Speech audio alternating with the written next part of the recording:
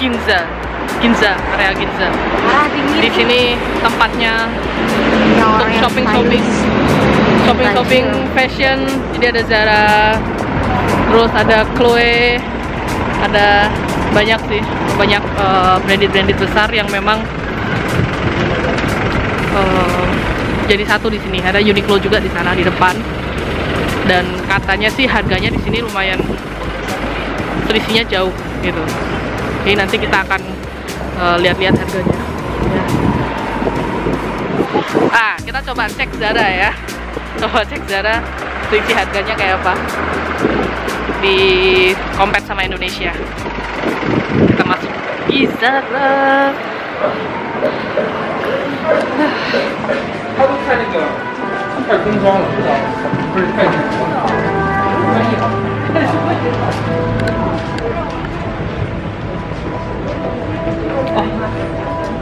ingat sepatu ya. Sepatu kemarin di kisaran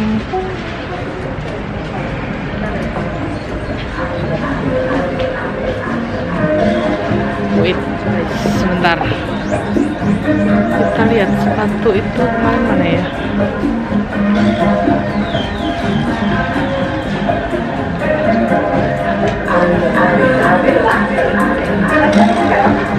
Jojo.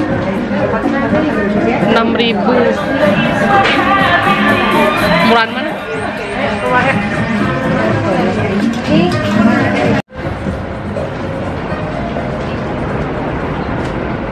sepatunya mahalan di sini. Jadi eh, harga sepatunya lebih mahal di Jepang malahan dibanding Indonesia.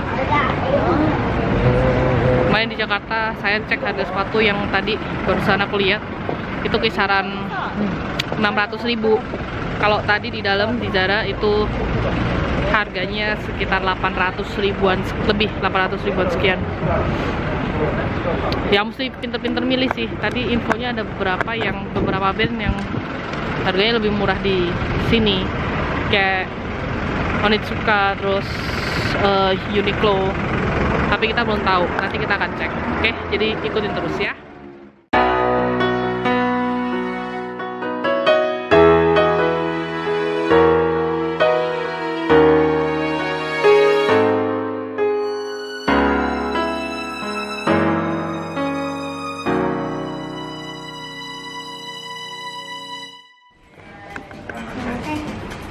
guys, jadi kita hari ini beli sepatu langsung dua piece nih. Kita beli dua dan harganya ternyata jauh lebih murah daripada di Indonesia.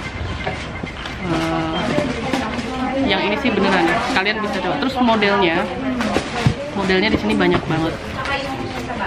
Eh, jadi di belakang ada beberapa sepatu yang memang dibikin khusus di Jepang, termasuk yang tadi kita beli beli itu harganya kisaran 2 jutaan. 2 jutaan sekian. Kalau di sana bisa hampir 3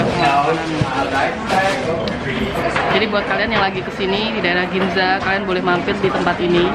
Harganya jauh lebih murah dan modelnya banyak banget.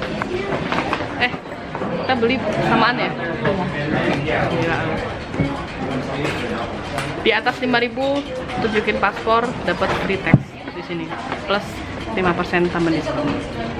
Baik ya orang sini ya. Coba di Indonesia. Gila. Belanja langsung dua piece sepatu. Dari kemarin sih kita muter-muter di premium outlet juga kita nggak dapet apa-apa. Karena rata-rata tetap mahalan di sini. Tapi khusus yang ini kita udah cek. Dan karena salah satunya adalah memang ada beberapa model yang dibikin cuman ada di Jepang. Jadi kita beli Nih, bendahara gue lagi keluarin duit susah banget ya.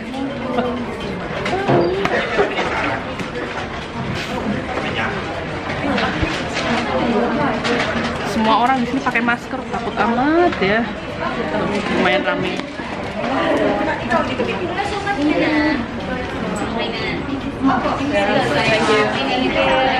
Thank you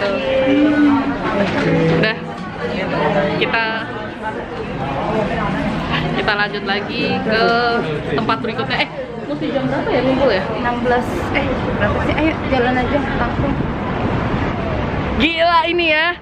Kita ditunggu lama-lama nggak apa-apa. Kita datang terakhir nggak apa-apa karena kita beli dua 17.30 piece. tinggal udah dapet. 14 menit lagi. Mau nyoba ke sono bentar nggak? Uniqlo. Reva ke sini lagi kok. Emang iya? Enggak. Oh, Uniqlo ada lagi, ada lagi. Nanti ada ke Uniqlo lagi. Iya yang Udah cukup lah ya belanja kita hari ini. Gila, Bro. Jaket Twin. sama, jaket celana celana sama. Sepatu. sepatu sama. Gila. Oh my god. Kemarin kita diejekin nih, masa kita nggak belanja orang udah mampir di gourmet kita nggak belanja Jadi mendingan apa-apa. ya, mendingan kayaknya lu mesti masukin kakak ke gue deh. kita bikin keluarga kandung ya. Cuman selisih satu hari doang. Oke guys, jadi ini adalah tempat terakhir hari ini. Kita akan balik menuju ke hotel yang Belum, kita makan Kedua. malam dulu ya sebelum ke hotel kita makan malam Oh, dulu. nah, makan malam dinner Dinner. dan gila dingin banget anginnya nyebelin Dingin ya. dingin Tapi di sini emang polusinya udaranya bagus banget. Gak ada tuh polusi-polusi yang adanya Bikin polisi sesek, di sini, ada polisi. polisi. Jadi habis ini kita makan malam terus langsung ke hotel yang eh, berikutnya. Dan lanjut lagi besok kita ke tempat yang lebih amazing. So ikutin terus. Yang belum subscribe tetap subscribe. Jangan lupa like share dan komen. Terus komen juga buat kalian. Nextnya kita harus jalan ke mana? Dan kita harus ngevlog di mana? Komen aja di bawah ya. Komen dulu. Nanti syukur-syukur ada rezeki kita bisa jalan lagi. Oke guys. Thank you so much. See you tomorrow